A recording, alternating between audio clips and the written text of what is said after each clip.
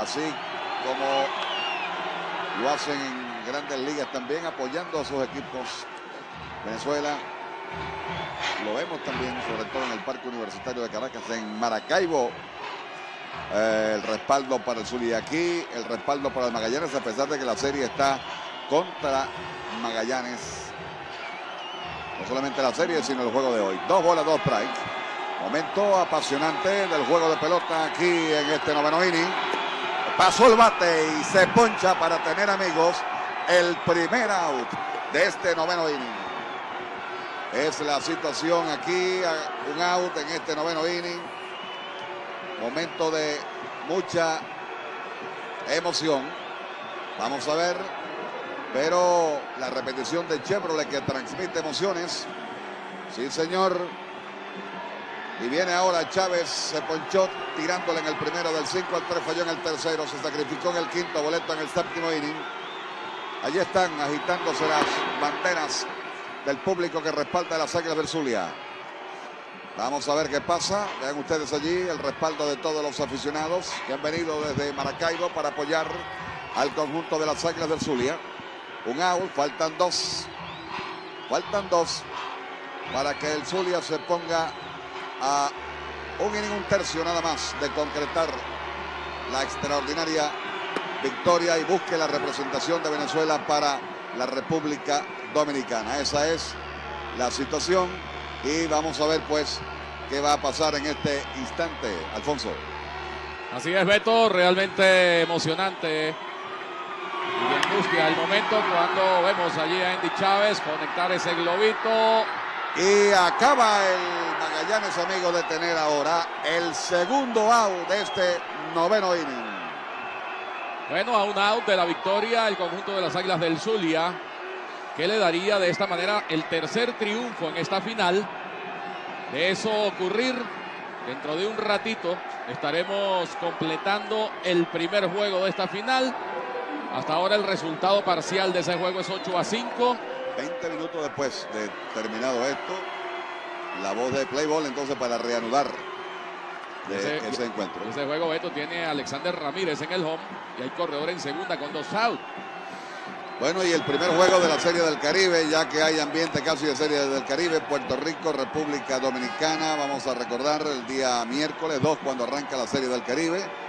Venezuela, México. Esa es la situación.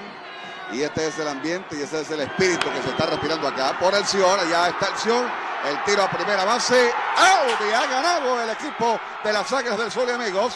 Nosotros en el terreno de juego tenemos a nuestro compañero Manuel Rodríguez, que en un momento nada más estará con todos ustedes. Por lo pronto, los peloteros celebran allá en el centro del diamante este maravilloso momento, los abrazos, porque la victoria y el pasaje para República Dominicana pareciera que el Zulia ya lo tiene en el bolsillo. Así es, Beto. Tan solo separan a las Águilas del Zulia un inning y un tercio de llegar a la República Dominicana. Un gran año para las Águilas. Lo hemos comentado en infinidad de partidos. Un equipo que nadie dio como favorito, pero qué difícil es ganar. Un equipo parejo, que tiene velocidad, tiene fuerza, tiene buen picheo y además un punto honor tremendo. Pero este juego se ganó, falta uno. Y cualquier cosa puede suceder. Vamos, Manuel. Ahí está, mira, un directivo, un ¿eh? directivo del Magallanes, sería interesante. Vamos a ver qué dice la gente del Magallanes, para, porque es una explicación que el país quiere escuchar, ¿no? Este, para que los árbitros se lo este, decidan si se lo van a conceder este, y creo que van a saltar al terreno. Presidente Efraín Muñoz. Bueno, yo pienso que el tiempo se cumplió. Le dieron el plazo, inclusive mucho más de lo que necesitaba el conjunto del Magallanes y yo creo que ya a estas alturas eso no puede ser. Hay un campeón, está celebrando, decretaron un forfait, el Magallanes no salió. Definitivamente esa es la situación. Aquí sería violar una vez más las normas que eh, bueno, rigieron este campeonato, este accidentado campeonato de béisbol profesional. Por lo pronto, las Águilas del Zulia, como lo dice esa leyenda, es el campeón. Y no hay manera, porque tú te imaginas la que se armaría aquí si el Magallanes entonces, eh, bueno, una vez que ya se ha declarado, porque el umpire dijo, lo dijo allá abajo y por eso los peloteros estuvieron celebrando. Se dio el forfeit y entonces una conversación, una tarde, una conversación demasiado tarde para ir a convencer a los peloteros de los navegantes del Magallanes. Ya hay que cumplir con las reglas del béisbol. Repetimos que el encuentro ha debido comenzar a las 9 y 32 minutos, dieron de más inclusive, y sería una burla, creo yo, porque con, con qué deseo van a salir esa gente allí al terreno. Vamos con Manuel Rodríguez nuevamente al terreno de juego. Cuerpo arbitral, gracias a un pedido del presidente de la Liga Efraín Muñoz, le va a conceder 10 minutos más a los navegantes del Magallanes. Así que la celebración ya se hizo, la gente del Zulia se siente campeón. Doctor Muñoz, nuevamente, ahora hay una petición del Magallanes que se le ha concedido 10 minutos más. No, eh, vino el presidente y solicitó al jefe de los árbitros, que es la máxima autoridad aquí en el terreno, y eh, le solicitaron 10 eh, minutos, 10 minutos, y el cuerpo arbitral se los dio. O sea que Zulia todavía no es campeón. No, todavía el Zulia no es campeón. Vamos a ver si vamos a hablar con Dan Wilson, el árbitro principal de árbitros. Hey Dan, Dan Wilson, Chief Umpire. What's the situation right now? Uh, they, Magianis has 10 more minutes, uh, about 8 minutes now. All right, did you say that Zulia get the championship and now the situation is different? No, no, I have not made that statement. How much time we have to wait for Magallanes? 8 minutes. 8 minutes. Ocho minutos, se va a esperar ahora y viene Juan José Ávila aquí a hablar. En, en, 15 minutos estaba el equipo afuera, va a jugar. 15 minutos they're going to be out and they're going to play done. Se están vistiendo, se están vistiendo. Are you agree, Dan? Okay, okay. Se le va a dar, se le va a dar, 15 minutos. Están pidiendo 8 minutos. Hey, Dan,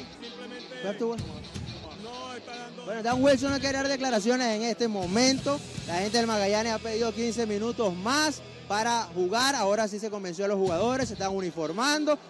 Es lamentable el final que estamos teniendo esta temporada. Los árbitros dijeron que no, que Magallanes no iba a jugar, que Zulia era campeón. Ahora se ha cambiado esta decisión. Ahora la gente del Magallanes ha pedido por favor 15 minutos, se logró convencer a los peloteros.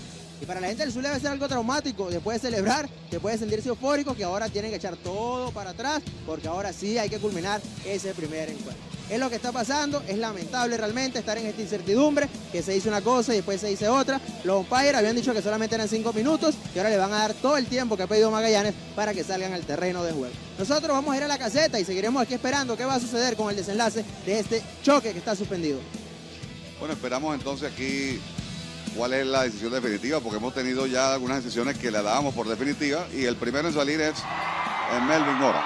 Obviamente, vean ustedes cómo todavía Melvin Mora se está acomodando allí su, ropa y salen al terreno de juego. Bueno, y tiene que salir, Beto, eh, porque ya Dan Wilson dijo que no le daba más de ocho minutos. Eso fue lo que dijo el principal.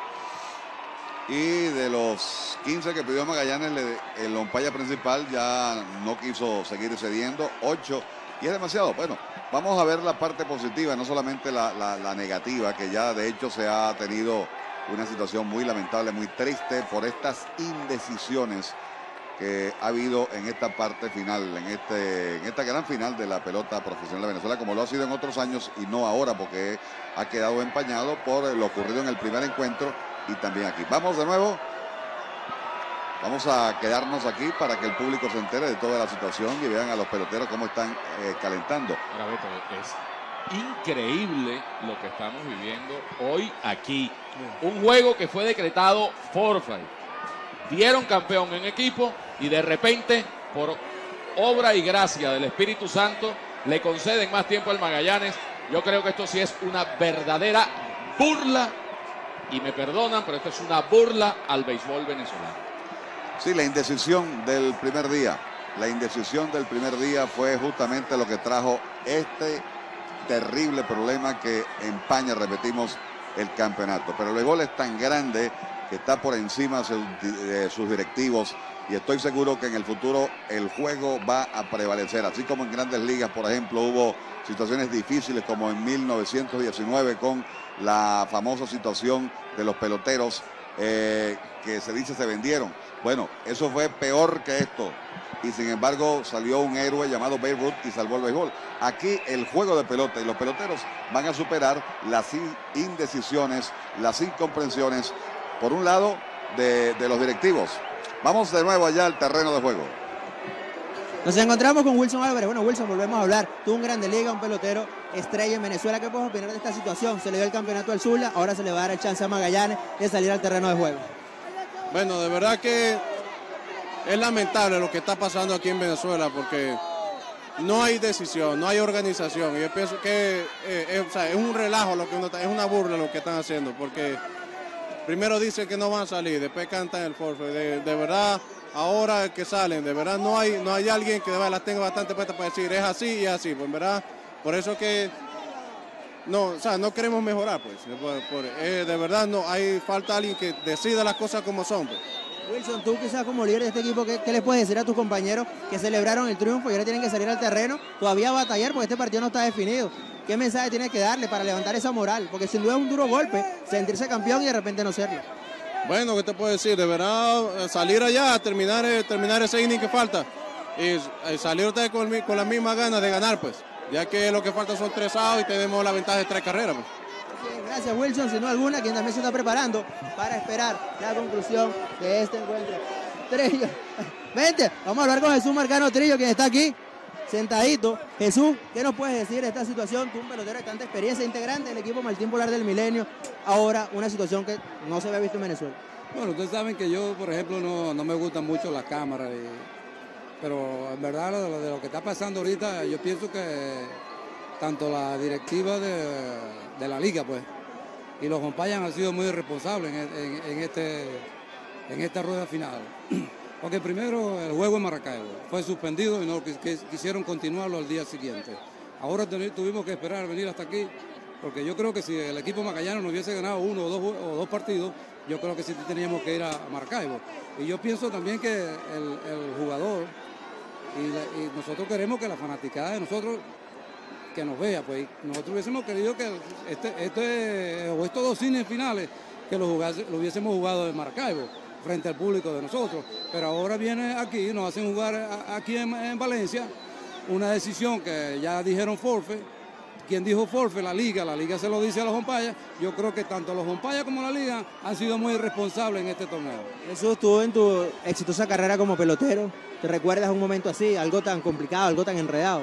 No, lo complicado que recuerdo es cuando hubo el paro en Estados Unidos, pues en las grandes ligas, pero cosa que se, que se reanudó, pues, en- que se aclaró pues en dos meses y seguimos jugando, continuamos el campeonato. Pero lo que se ha visto aquí hoy, toda esta, toda esta final, nunca lo había visto. ¿Qué mensaje le puedes dar tú a la liga, a los dueños de equipos, tú un pelotero con una trayectoria exitosa, con propiedad para hablar, para corregir esto en un futuro? Bueno, chicos, yo pienso que ellos han debido ser que si, si se toman un tiempo para tener una decisión, que esa va a ser. Porque si no, lo, tanto nos vamos a tener de muñequitos o qué. Porque aquí esto es, eh, ellos son los dueños y a los- perdón, ellos son los presidentes o, los que manejan este torneo y ellos al decir que forfe o vamos a jugar eh, tal día, se, juega. No vamos a estar con este ridículo de lo que estamos viendo ahorita. Gracias, Jesús Marcano Trello. Mar Bombard de nuevo, Mr. Bombard. ¿Qué nos puede decir? Se celebró el título, ahora resulta que se echa todo para atrás, hay que esperar nuevamente y jugar. Bueno, nosotros no tenemos el título. Vamos a jugar, vamos a jugar ahora y no podemos hacer nada. Nada más vamos a jugar el- este juego de una entrada y tercio y vamos a ver.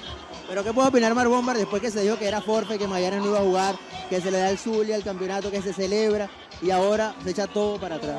Es mejor juega este juego, pero yo pensé antes, uh, uh, Magallanes no, no regresó, ellos no regresaron a la- a la- al campo. Yo pensé es un forfeit, pero nosotros celebramos temprano y entonces yo pienso el presidente dio un 15 minutos más para Magallanes para, para salir para el campo. Esa decisión fue sin consultar al Zulia, fue de la liga únicamente. Bueno, para mí la primera cosa fue el primer juego. Necesitan dar una decisión antes del segundo juego en casa y no tenemos esos problemas. Esta es la primera cosa. Si, si esta, esta cosa pasó en el segundo juego en casa es diferente. porque hay tres juegos aquí. Pero pasó en el primer juego, para mí, una decisión antes del segundo juego. Entonces, Debió tomarse en ese momento y continuar ese primer choque antes del segundo. Es la opinión de Marrón. Así es. Así es, así está la situación. La gente del Zulia muy compungida porque tiene que salir al terreno después de haber celebrado el título. Critican, por supuesto, la desorganización que se ha presentado en esta fase final del campeonato. Ojalá se tomen correctivos de cara a un futuro de nuestro béisbol profesional. Vamos a nuestra caseta con los compañeros Humberto Beto Perdomo y Alfonso Álvarez Díaz. Bueno amigos, aquí tenemos a todos los peloteros. Vean el rostro de la gente del Magallanes, cari acontecidos por la triste situación que se está viviendo en este momento aquí en el estadio. Y ya el pitcher Lazo está haciendo eh, los calentamientos, le recibe Machado. Vamos a esperar entonces cuál va a ser la, la decisión de este encuentro por el que se ha esperado desde el primer día cuando arrancó eh, la final entre Magallanes y las Águilas del Zulia. Los peloteros se están calentando todavía ya en el, la parte del shortstop de la tercera base en el terreno corto del left field. Y bueno, Lazo entonces haciendo allí sus eh, calentamientos porque es el hombre que va a tener la responsabilidad de sacar ese out que falta para concluir el octavo inning del equipo eh, de las Águilas del Zulia. Vamos a recordar que hay un hombre en segunda y Ramírez Vendaljón también está allá nuestro compañero en el terreno de juego, Manuel Rodríguez. Recientemente retirado como pelotero activo, ahora como técnico. Conoces al Magallanes en profundidad. Cuéntanos exactamente qué pasó, qué se dijo, qué fue lo que se vivió allá adentro. Bueno, mira, lo que se vivió allá adentro fue que la liga de béisbol nos faltó el respeto este, de lo que pasó en Maracaibo. Nosotros arriesgamos la vida, los peloteros arriesgaron la vida en ese momento, ya que cualquier cosa podía suceder. La liga dijo que si nosotros salíamos y tiraban una cosita más al terreno, ellos confincaban el juego y no fue así, nos mintieron, la liga nos mintió completamente, los umpires nos mintieron completamente y bueno, y eso es lo que está sucediendo allá adentro, que los muchachos estaban, estaban enojados y no querían salir porque la liga nos mintió. O sea, Magallanes no quería continuar el encuentro independientemente de que fuera hoy, fuera mañana o cuando fuera. O cuando fuera, estaban, decididos eh, decisiones de, de los peloteros por, por, por esa misma circunstancia que la liga les mintió y, y nos faltó el respeto. ¿Cómo se logra convencer a un grupo de peloteros para salir al campo cuando tienen esa posición? ¿Qué fue lo que pasó?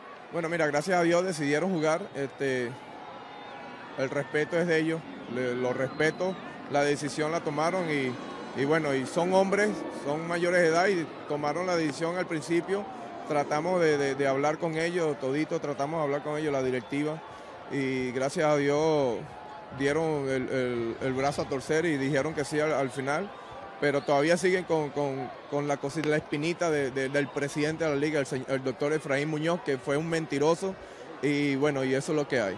Pero todavía este juego no está perdido, todavía se puede ganar. Magallanes le queda un turno a la ofensiva. Bueno, ahí, ahí vamos para encima y, y lo vuelvo a repetir que el presidente de la liga es un mentiroso. Palabras de Álvaro Espinosa en representación de los navegantes del Magallanes. Roberto, rápidamente, ¿qué puedes opinar tú? Bueno, mira, tenemos, mira, nosotros como entidad, o sea, beisbolera, estamos trabajando profesionalmente.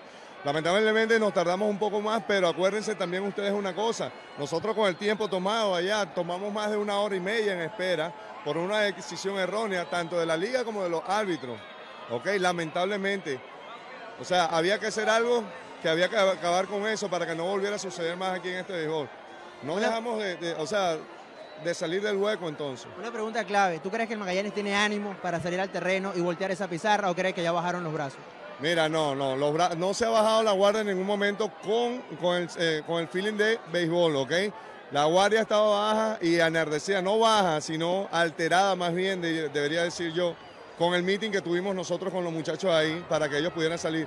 Pero la rabia era con la gente de la liga, tan solo por la decisión tomada anteriormente, ¿ok? Pero aquí estamos, vamos a concluir para que todo quede eh, en, en buena manera, ¿ok? Gracias, Roberto. Álvaro Espinosa y Roberto, parte del cuerpo técnico de los navegantes del Magallanes. Ya está el pitcher en el montículo, ya se va a continuar esto aparentemente. Vamos a la caseta nuevamente. Estaremos pendientes de lo que suceda con este dramático final. Bueno, Lazo entonces está haciendo allí los envíos para la goma. El resto de los peloteros la han calentado lo suficiente. Están también eh, en el terreno de juego. Y falta por la, reanudación del juego que diga play ball de nuevo. El umpire principal que tendrá la responsabilidad, repetimos, de este inning y un tercio que falta para completar un encuentro que ahora mismo es de cinco carreras, nueve y sin errores para el Magallanes Zulia con ocho carreras, nueve indiscutibles también con tres pecados. Un juego donde recordamos el equipo de las Águilas del Zulia cometió muchos errores, pero que, bueno, lo logró levantar, logró cambiar el decorado de ese encuentro. Así amigos, y ahora sí, ojalá se olvide este episodio muy difícil porque yo pienso que va a quedar grabado con esta transmisión de Televen en la memoria de todos los venezolanos amantes de este deporte. La situación entonces, dos out en segunda base, Lino Cornell está bateando Alex Ramírez y ese es el pitcher Lazo aquí en el final del octavo inning, recordamos. Vamos a ver cuál es la situación. Ramírez es el toletero, hombre en segunda base. Estamos en el octavo inning, amigos. Con, la, con hombre en segunda de lado, por supuesto, el joven Lazo. El foul atrás. Primera strike para Ramírez. Qué situación tan incómoda, tan extraña, eh, para lado y lado, tanto para el Zulia como para el Magallanes. Porque no es fácil estar allí en el terreno y de verdad hay que respetar a los peloteros. Porque ellos son quienes hacen este espectáculo. Su dignidad, su profesionalismo es lo que está en juego en este momento. Y yo respeto en este instante la decisión de los peloteros al haber salido al terreno. Pero no puedo compartir lo que ha sucedido hoy acá en José Bernardo Pérez. Bueno, con él, con ese batazo, strike cantado. Aquí se poncha, amigos, y ha terminado entonces el octavo inning. Iremos al noveno. El juego está ocho carreras a cinco. Es la situación cuando tienen allí esa repetición de Chevrolet que transmite emociones. Pide más, pide más, nada como una Pepsi. Volveremos en un momentico, nada más.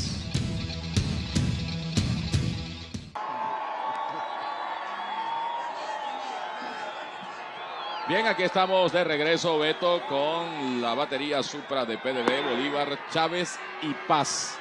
Es lo que pedimos acá en este final del campeonato. Sí, señor.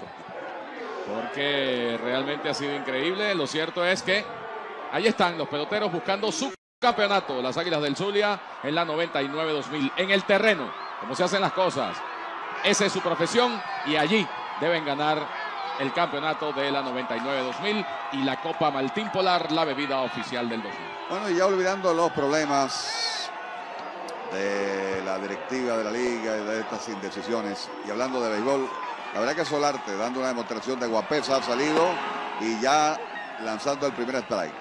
Ha salido y hay una diferencia de más de una hora. Si él no fuese un hombre tan experimentado, tan veterano, un brazo ya curtido, como se dice en el béisbol, no saliera ahora, porque este tipo de situaciones es lo que daña a los brazos de peloteros. Patazo hacia el Rey Centerfield, y ya está el Centerfield, es un bombo. Primera out, amigos. O sea que Solarte podría salvar dos juegos en un mismo día. sí, señor. Esa es una situación porque ahora exactamente hay tres carreras, ¿verdad? Y él está en situación de salvar también este encuentro.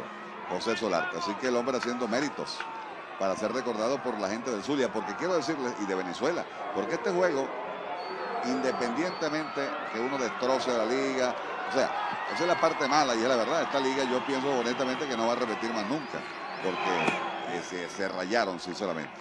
Bueno, pero los niños que están viendo esta transmisión, en el futuro, en el futuro, van siempre a hacer referencia de este juego. Y Solarte es la parte, digamos, desde el punto de vista deportivo, bueno de, esta situación, de, este, de esta doble tanda, por decirlo de esa manera, porque hoy está terminando el par de encuentros. Yo pienso, Beto, que también la actitud de la gente del Magallanes, Espinosa, Roberto, Álvaro, todos que convencieron a los muchachos de salir también es loable. Es importante ver allí, por ejemplo, en este instante a Andy Chávez consumiendo turno con un out, dando la cara por una divisa que tiene una historia tremenda en nuestro béisbol y que tiene que dar la cara y tiene que salir como lo hizo.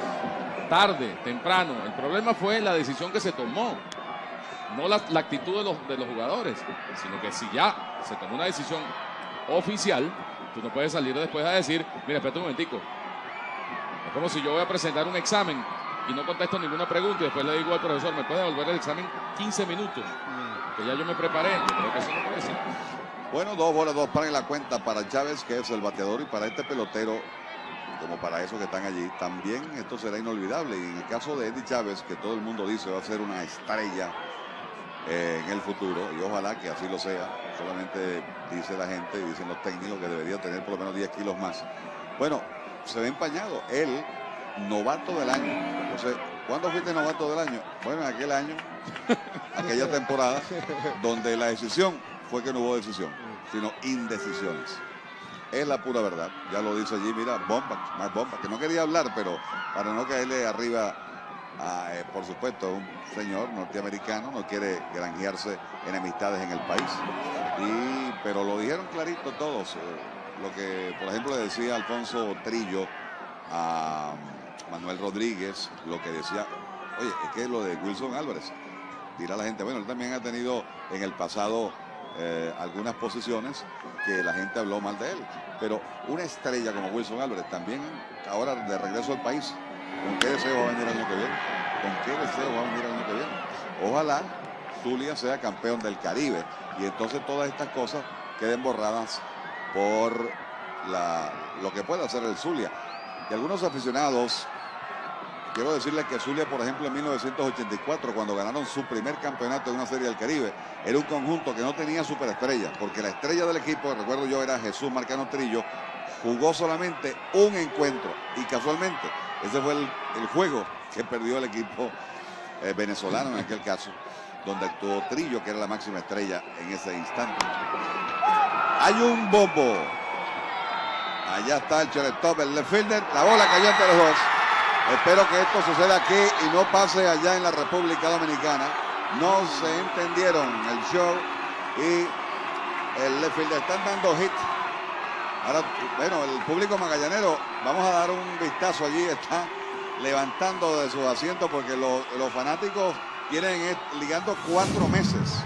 Eso es así. Y aquí se mantiene una gran cantidad de público ligando a su equipo, los navegantes del Magallanes, y celebrando, agitando sus banderas y de pie ese hit de el pelotero novato del año, Andy Chávez, que definitivamente es una estrella. Se fue Andy Chávez. Bueno, están pendientes porque el empate todavía está en el círculo de los prevenidos. Recordemos que la diferencia es de tres carreras. Solarte preocupado. Allí no hay robo de base porque hubo, como se dice, indiferencia de la defensa. Bueno, la situación es. Vamos a ver, noveno inning, amigos.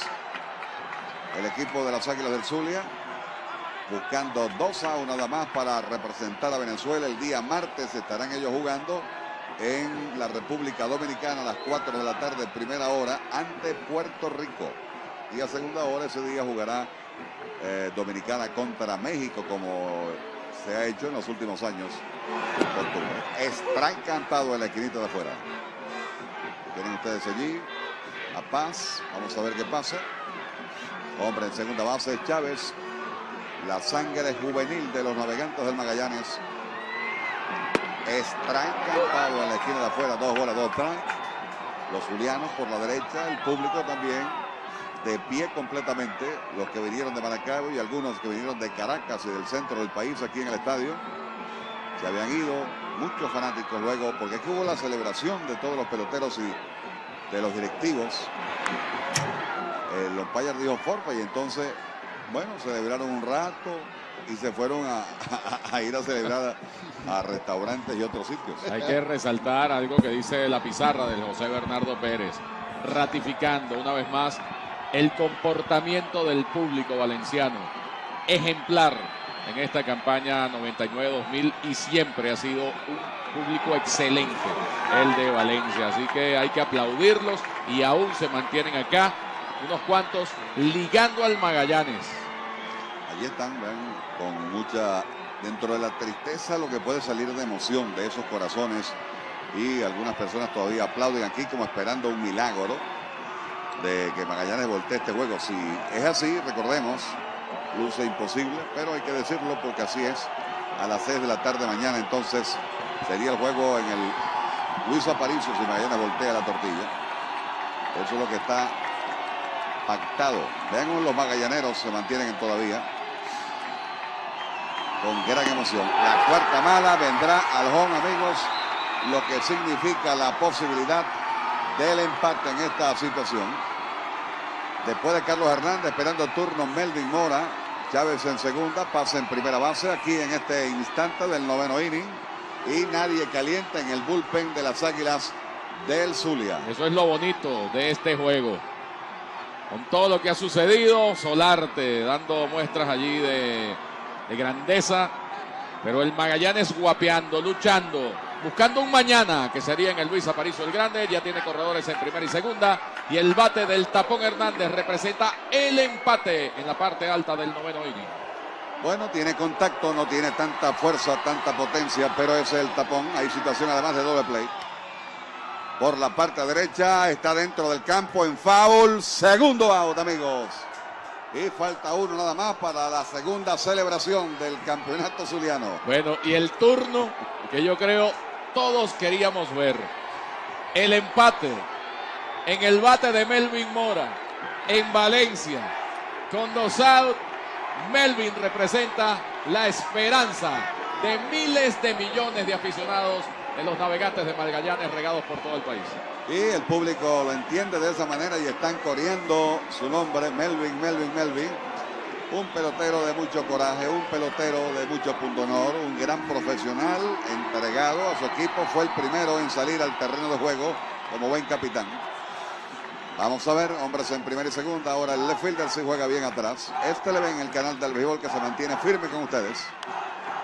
Primer strike. Está ahora a 12 strikes el equipo de las Águilas del Zulia de definir esta situación y, y le dice nada alto, bajito todo para que no la saque. No quiero comiquitas a esta altura. Mark Bomba, pendiente siempre de todo, le decía al catcher, no pida nada allá arriba, de la rodilla para abajo. Hacia abajo, para abajo. Vamos a ver qué pasa. Pero esto sí es sabroso, esto. Cantar un campeón, si así va a ser para el Zulia, en el terreno de juego. Mira, y sigue muy alto Solarte. Es una situación, es que no es fácil. En la historia del béisbol venezolano, por ejemplo, se recuerdan otro tipo de situaciones a pitchers consagrados, estrellas inclusive de series mundiales, como Mike Cuellar, que lanzó en una ocasión, en un mismo día lanzó en dos juegos. Y son varios los lanzadores. Solarte, bueno, lanzó cortico allá y ahora está alto el envío, segunda mala, dos bolas en strike, como tú bien lo decías, dos salvados. Ahora vamos a ver, este juego pertenece al, al día 20, ¿qué? 25. Cuando comenzó toda esta historia dramática de la final. Bueno, Solarte está nervioso, Bomba, que dice, bueno, lo peor es que después de celebrar un campeonato, hermano, ¿ah? Oye, dos bolas, un spray, hombres en primera y segunda base.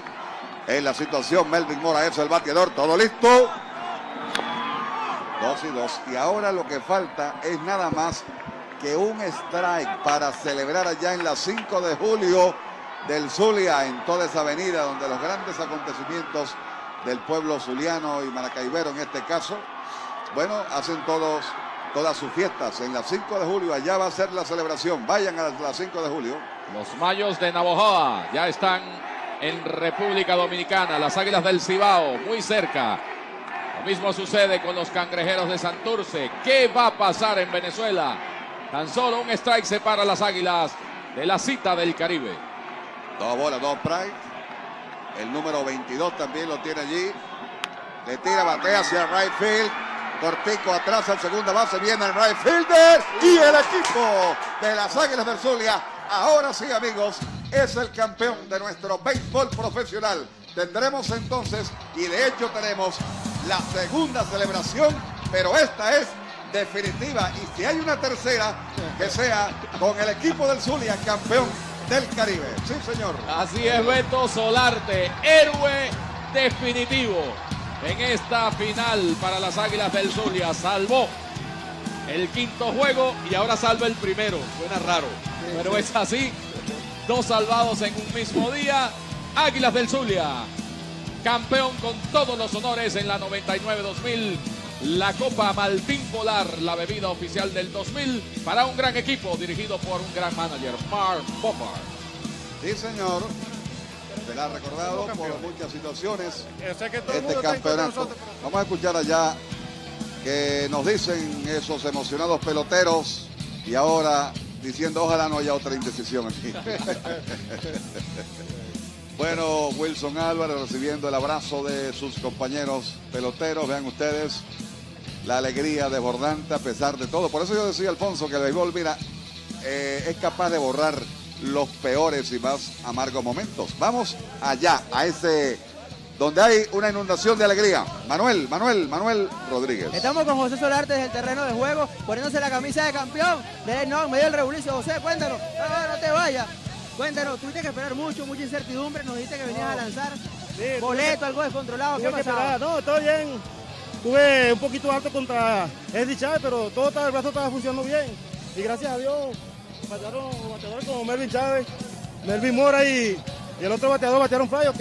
Todo salió bien, pero yo creo que la liga no tuvo decisión cuando ellos tenían un, un tiempo determinado para cantar la voz de playoff. Yo creo que esto no puede existir en la vida en la liga venezolana porque esto le quita vistosidad al campeonato. ¿Qué podías sentir tú en ese momento cuando no se sabía si venías a lanzar o no? No, yo ya, ya el, el juego de picheo, yo... Este, había juego, Carlos ¿no? Bueno, yo estaba listo, estaba relajado allá en el cuarto solito, esperando que cantara la voz de playoff. Tenemos a Jimmy Rollins. Congratulations. Well, thank you. What does this championship mean para ti? Oh man, it's meant a lot, man. We fought all year long. Nobody gave us anything. We had to come out every day and fight. And uh, this is just, just, this is the final.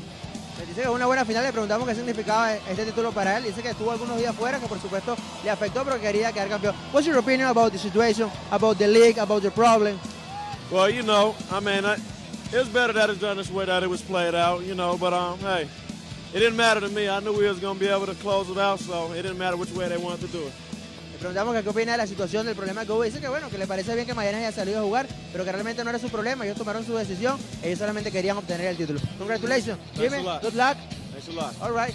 Nosotros seguimos aquí en el terreno de juego, una celebración por supuesto muy fría, una celebración que ya se hizo, ya nosotros les brindamos los momentos de celebración, los momentos de euforia de la gente de las Águilas del Zulia, Mar Bombar, todos emocionados. Después echaron para atrás la decisión y eso por supuesto afectó, la gente ahora está celebrando, dicen que por fin han conseguido el título después de esperar tanto, después de tanta incertidumbre. Vale, por supuesto el título vale igual, muy merecido para las Águilas del Zulia, el mejor equipo en la final, de eso no hay duda. El equipo que más trabajó, que aprovechó las oportunidades, que ganó tres encuentros aquí en Valencia, que ganó tres choques de manera consecutiva a los navegantes del Magallanes aquí en su parque, en el José Bernardo Pérez, y esta continuación tan traumática, tan problemática, que tanto ha afectado la imagen de nuestro béisbol. Nosotros vamos a ir con nuestros compañeros en la caseta de transmisión y regresaremos para la entrega de trofeos.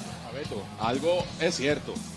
La celebración fue muy fría porque la cerveza y la champaña estaba helada allí en el clubhouse. Una gran alegría para las Águilas del Zulia, un digno campeón. Y ahora vamos a esperar para la entrega del hermosísimo trofeo de la 99-2000, la Copa Maltín Polar, la bebida oficial del 2000. Vamos a recordar, Beto, los nombres que ya se han estado barajando para el conjunto de las Águilas del Zulia como refuerzos. Bueno, vamos a comenzar por el que mencionaba el manager, ¿no? Que él lo quiere, Melvin Mora. Él lo quiere llevar y Melvin Mora quiere ir. Hay otros, como Horacio Estrada, que ya eh, está confirmado. Giovanni Carrara, van a conversar con él.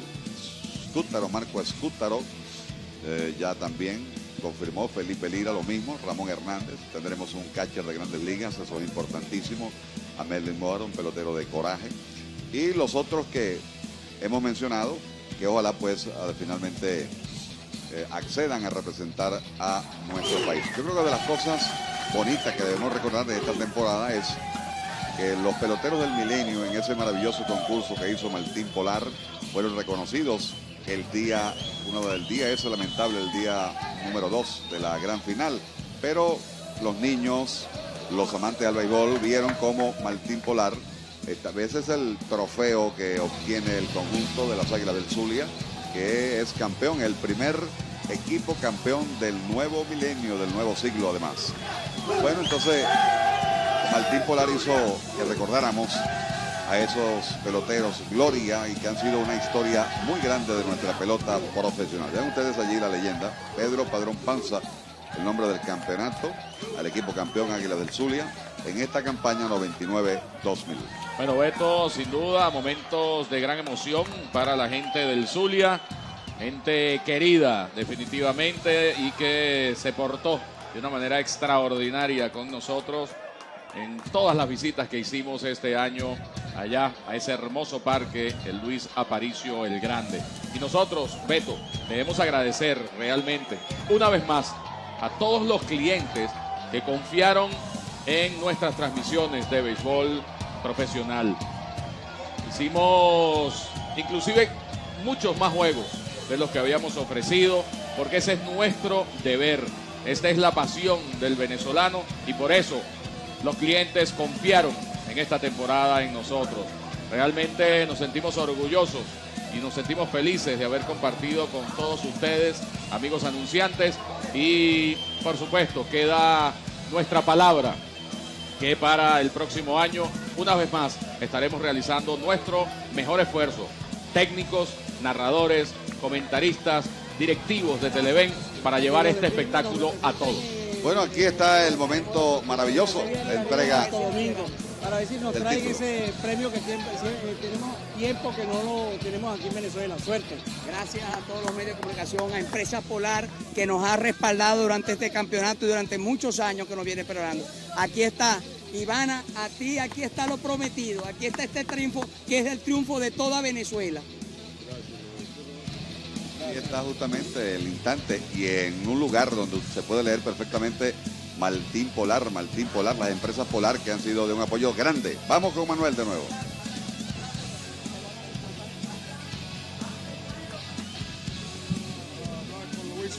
Estamos aquí abajo con Mar Bomba. Algunos peloteros tenemos nombres, pero yo quiero hablar con, practicar con él después. Bueno, yo conozco uno, yo quiero, Melvin Mora. Ah, bueno, Bomba, que era Melvin Mora.